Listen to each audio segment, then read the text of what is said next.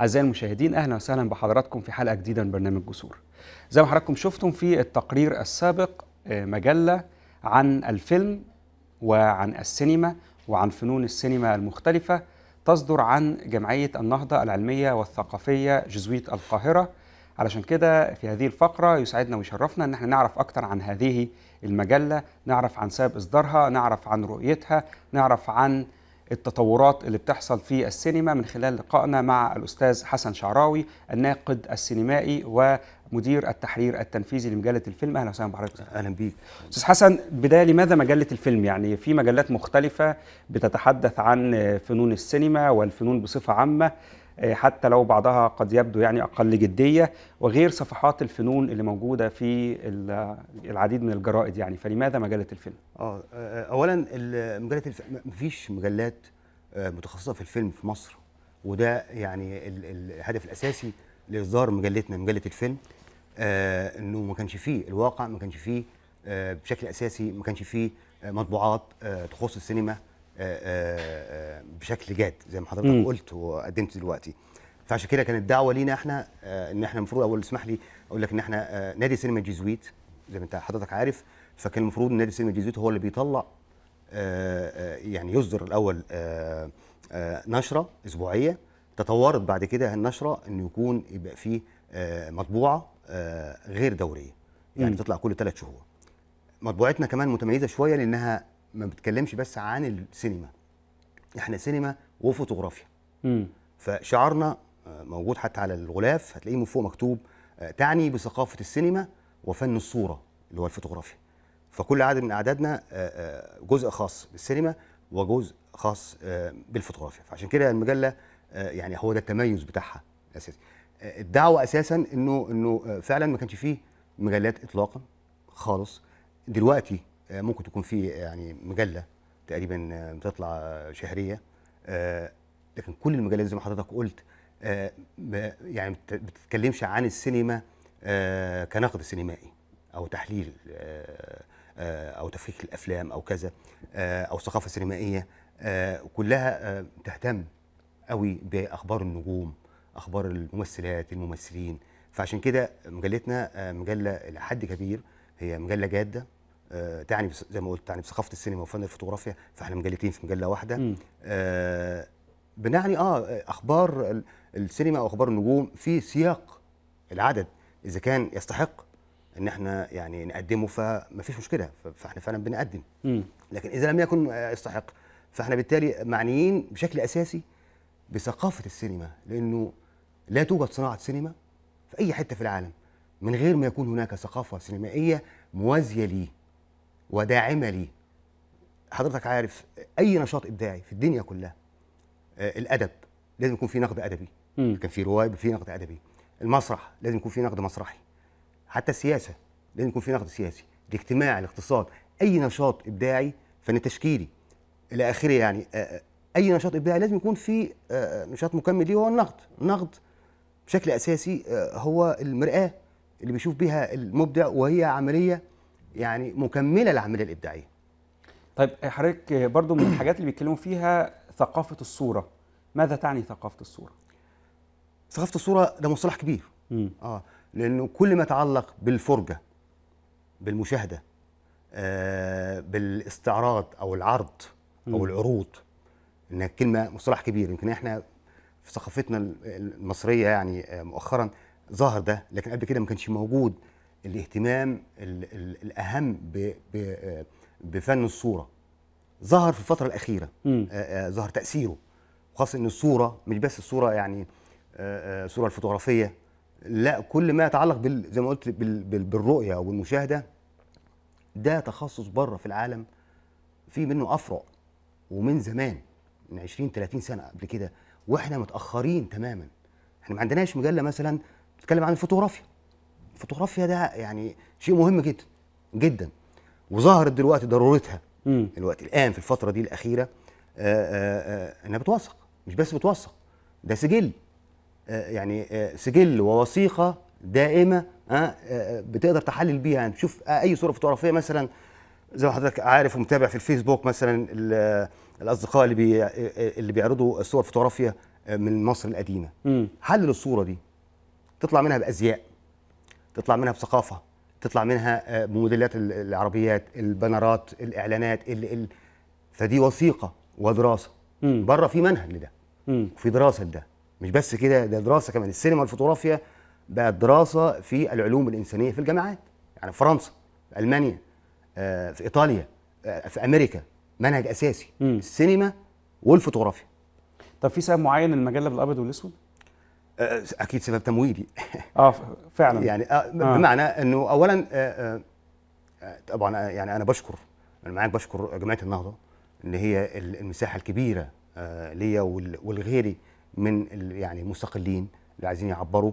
فهذه المساحة وفرها لنا آه يعني جمعية النهضة والأب ويليام سيدهم طبعا الأخ يوسف رامز إنه بيتيح لك إنك تعبر عن ده إذا كان عندك حاجة تستحق إنها يعني تعرف عشان كده آه، وفقا لأبونا ويليام يعني انه إنه إحنا عندنا موارد متاحة مم.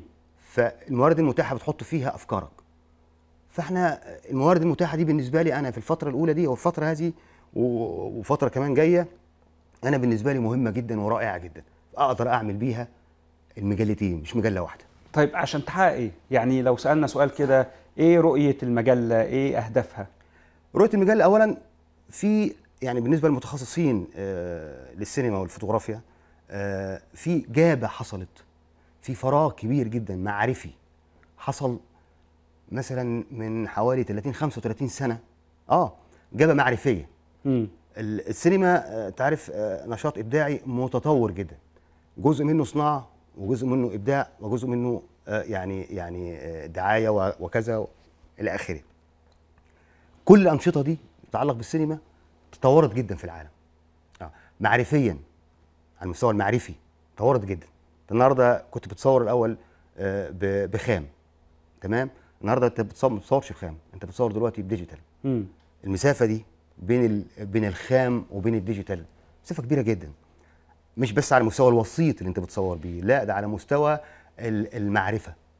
فكان طبيعي إن إحنا مجلتنا إن في في معرفة. يعني مثلا مدير التصوير عايز يعرف إيه الجديد في صناعة السينما آه، ال- الحديثة والمطورة وال- والمعارف دي؟ المخرج عايز يعرف إيه التيارات الجديدة في المعالجة في بالنسبة للأفلام والفوتوغرافيا؟ المصور نفس الحكاية الممثل نفس الحكاية. فلازم إحنا نوفر لهم ده. فالمجلة بتوفر ده. إن إحنا طول الوقت عندنا ملفات نوعية خاصة إحنا شايفينها إنها مهمة جدا وليها ضرورة ضرورة للمتخصصين تمام؟ آه فبالتالي إحنا بنترجمها. يعني مثلا عندنا عدد لأول مرة في اللغة العربية بنترجم عن البرتغالي هو العدد رقم اثنين متكلمين عن جلوب الروشة. مفيش حد يعرف أصلا جلوب الروشة ده مخرج برازيلي. تمام؟ إحنا عاملين عدد آه، آه، آه، جلوب الروشة لأنه بيتكلم عن عن السينما المستقلة. أول واحد بيتكلم عن السينما المستقلة في العالم. الكلام ده سنة 64 وبداياته سنة 59 مين كان يعرف جلوبر روشا؟ جلوبر روشا كتب مانيفستو. تمام؟ سنة 63 وكان منظم مخرج ومنظر. كتب مانيفستو عن رؤيته هو ومجموعة السينما آه السينما نوفو البرازيلية. تمام؟ عن آه آه آه فهمه للسينما الوطنية الوطنية البرازيلية في مواجهة السينما الأمريكية. واخد بالك؟ في مواجهة السينما الأمريكية. فعمل مانيفستو اسمه جماليات الجوع. يعني مانيفستو تقراه ده موائم لينا إحنا. إحنا هنا. محدش ترجمه خالص نهائيا. خالص في اللغة العربية. فقط كان ترجمة مش ترجمة يعني كان ملخصات آه، آه، آه، مش عن الأصل. إحنا جبنا الأصل باللغة البرتغالي. وصديقنا العزيز مارك جمال هو ممتاز جدا مترجم عن الأسباني والبرتغالي خد ال- النص الأصلي هو 12 ورقة مانيفستو بيان تأسيسي لفهمه ده مبكرا. الكلام ده سنة 4 سنة 63 وترجمناه كله. دي معرفة. عشان الناس تعرف. الراجل ده اللي هو جلوب الروشه آه، عبقري طبعا. ومات صغير مات عنده 42 سنة. مات سنة 81 الراجل ده هو صاحب آه، أول مصطلح. يعني في السينما المستقلة يعني آه، مبكرا. قال ال- آه، فكرة في الرأس. شوف الشعار. فكرة في الرأس وكاميرا في اليد. مم. وده كان ابن يعني المجموعة دي كلها هو ودي سانتوس وجلوب روشا ودي سانتوس وسينما نوفو بدأوا في نوادي السينما في سان باولو في البرازيل. مم. يعني إذا نوادي السينما ليها دور مهم جدا. إن مش بس إنك أنت بتعرض آه، أفلام أنت بتعرض وبتناقش وبتحلل وتفكك الفيلم وتعيده مرة تانية تمام؟ آه وفي معاه كمان وحدة صغيرة آه عشان الناس تجرب لو في حد جاي. ده دور نوادي السينما في العالم كله. طب معلش عايز أسأل سؤال آه، وإحنا بنتكلم عن السينما المستقلة وحضرتك قلت عن يعني آه، محاربة الإمبريالية الأمريكية الممثلة في السينما والسينما الفقيرة والفكرة والكاميرا ده مش كله مش بيجي على حساب آه، الجماليات أو التقنيات بتاعة صناعة السينما اطلاقا اطلاقا هو نفسه اسمه جماليات الجوع المنافسه اسمه جماليات الجوع. قال إنه جماليات السينما التي ننتجها الآن في البرازيل سنة 63 أه؟ لها جمالياتها الخاصة ويجب على العالم أن يفهم هذه الجماليات إنها جماليات نابعة من آه، من واقع هذا هذا البلد. البرازيل بلد كبير جدا ممتد ومتعدد الثقافات والأعراق تمام؟ وعنده مشاكل زي مشاكلنا تقريبا. فكان في في في غول آه، أمريكي آه، مهيمن في فترة الستينات وآخر الخمسينات مهيمن جدا على صناعة السينما. طول الوقت في وطبعا أنا أنا مش مش مش بكره السينما الأمريكية اطلاقا. بالعكس أنا بحب السينما الأمريكية الجاد منها والرائع والجميل وأنا عارف وبعرف أميز في ده. الموضوع مش خناقة. يعني في النهاية الموضوع كله فيه تعاون لكن لازم أنت كمبدع وطني اوثنتيك ها تطلع ده. مم. إحنا هنا السينما المصرية لازم يكون عندنا هوية لينا. هوية ليها علاقة بجماليات أنت بتأسس بيها جماليات وده دور النقاد. هو الناقد دوره إيه؟ مش إن أنا أعمل مراجعة سريعة لفيلم ويلا وخلاص والمساله انتهت. انت بتأسس لجماليات لأن الجماليات دي هي اللي تقعد بعد كده للناس. فيقول لك فعلا الفيلم ده آه، فيه تصوير غريب أو فيه زوايا آه، أو فيه معالجة مهمة جدا. أنا مثلا كنت في مهرجان القاهرة السينمائي الأخير ده. فشفت مثلا آه، فيلم بكالوريا. هو الفيلم اللي خد جائزه مهرجان كان مناصفة مع الفيلم الإيراني. فيلم اسمه بكالوريا. بتاع آه، كريستيان مونجو. فيلم ساعتين إلا عشرة. أستاذ باسم فيلم في غاية البساطة والجمال. بس جماليات ما تقدرش تعمل زيها. يعني بساطتها بس ما تعرفش تعمل زيها. مش مسألة مجرد إمكانيات لا، مادية و... اطلاقا. هو دي سينما روماني. ده ده ده ده رومانيا. بس رومانيا وأوروبا الشرقية السابقة يعني بتنتمي إلى المدرسة الروسية العظيمة في السينما. فليهم جماليات مؤسسة. سيرجي ايزنشتاين زيجا فيرتوف فدول ليهم ليهم أصول واصول ممتدة وليها وليهم جذور في في في التعامل مع السينما التعامل مع الفوتوغرافي. فكريستيان مونجو ابن هذه المدرسة العظيمة هو شاب شاب صغير يعني. مرتين ياخد آه، مرة خد ساعه حسابيه ومرتين ياخد آه، آه، من المهرجان كان آه، يعني جائزة لجنة التحكيم. وكل مهرجانات العالم كريستيان مونجو يخش يعني تعظيم سلام وتفضل الجائزة. من غير أي حاجة. يعني من قبل ما يعمل أي حاجة. فلهذه الدرجة الشعوب دي والناس دي شغالين. وإحنا فين يا أستاذ حسن؟ ما هو إحنا فين دي؟ إحنا أهو. يعني إحنا اللي علينا أهو بنعمله. واخد بالك؟ يعني صحيح مصر في الآن أنا بتكلم على على صناعة السينما في مأزق كبير جدا. آه، مأزق كبير وأنا شفته في مهرجان القاهرة السينمائي. يعني الفيلم الافتتاح الرئيسي ما فيش داعي طبعا الكلام اللي هو ده مش موضوعنا. وفيلم آخر آه، آه، وتم استبعاد فيلم تاني لأحد مم. الأصدقاء وكان المفروض يبقى هو داخل المسابقة الرسمية وتم استبعاده. واخد بالك؟ المستوى اللي انت بتشوفه انت انت في مهرجان ماشي؟ فانت بتشوف كل المهرجان كل أفلام الشعوب كلها السينما الصينية قدامك سينما العالم كلها قدامك. فانت بتشوف مستواك انت فين؟ ده ترمومتر. مستوانا ضعيف جدا. يعني يعني يعني مع الأسف الشديد أنا بقول ده مستوى ضعيف جدا. والسينما المتناولة يعني فيها بؤس. يعني بؤس لهذه الدرجة. على الرغم عندنا فرص جميلة جدا. وعندنا دلوقتي كنا الأول بنصور يعني كانت صعوبة جدا إنك تصور بخام وكذا والكلام ده. دلوقتي كانت محتاجة امكانيات هائله كانت هايله جدا. لكن دلوقتي ده ببلاش. انت الموبايل بتاعك تعمل بيه فيلم. الموبايل بتاعك تعمل- بس تعمل بيه إزاي؟ بس إزاي إحنا مش متأصلين كده؟ وإحنا عندنا برضو جذور وع- وعراقة ومن أوائل الدول في العالم اللي كان فيها سينما. ما فيش كلام إن مصر ليها تاريخ. تاريخ عظيم ومجيد. إحنا تاني عرض في العالم. سينما 1895 1896 في كوم الدكه في إسكندرية عرضنا عرض تاني. يعني إحنا إحنا إحنا سباقين. ولنا تاريخ. ولكن؟ ولنا تيارات. لا استنى. لنا تيارات نقدية. وكنا مم. مبكرين جدا. يعني كنا إحنا مثلا قبل ال... قبل ال... ال... الواقعيه الإيطالية الجديدة سنة 44 إحنا كنا قبليهم بكمال سليم. ومحمد بيومي قبليهم. بس ما حدش عمل ده. بس فين الآن دلوقتي؟ أنت فين؟ أصبح في ذمة التاريخ. أنت تقراه بس في التاريخ. لكن دلوقتي إيه الواقع بتاعك؟ الانقطاع ده حصل ليه وإمتى؟ القطاع ده له أسباب كتيرة جدا. يعني, يعني إمتى؟ بلاش ليه طيب؟ ما دام أسبابه كتيرة وصعب بداية ما. أنا أقول لك إحنا مصر السينما المصرية والسينما العالمية العالمية كنا ماشيين يعني قدما بقدم وكتفا بكتف. آه مستوى عالي جدا. تمام؟ لغاية سنة أواخر الستينيات. مم. 70 71 كمان. وبعد كده بدأ انحدار شديد جدا يمكن بعد آه، يعني بداية السبعينات آه بعد كمان 73 74 فترة الانفتاح وحصل انهيار في صناعة السينما المصرية للأسف الشديد وأثر على قطاع كبير جدا. السينما السينما يعني يعني صناعة كانت تاني دخل. لينا بعد القطن. فتخيل الآن إنك بتنتج دلوقتي كام يعني يعني قول لي أنت كان كام فيلم تنتجه السنة اللي فاتت؟ كام فيلم. إحنا انتجنا كام فيلم؟ الصناعة المصرية العظيمة اللي إحنا بنتكلم عليها مم. ها؟ اللي كانت بتنتج 150 و 160 فيلم ها؟ النهارده انت بتنتج كام؟ 10 أفلام 11 فيلم 12 فيلم. إيه ده؟ في الوقت اللي فيه سينما بعد يعني بازغة لسه يعني يعني لسه وليدة السينما الإيرانية. مم. وإحنا هنخصص لها عدد اللي جاي إن شاء الله عن السينما الإيرانية نظرة عن قرب إنها سينما عظيمة جدا.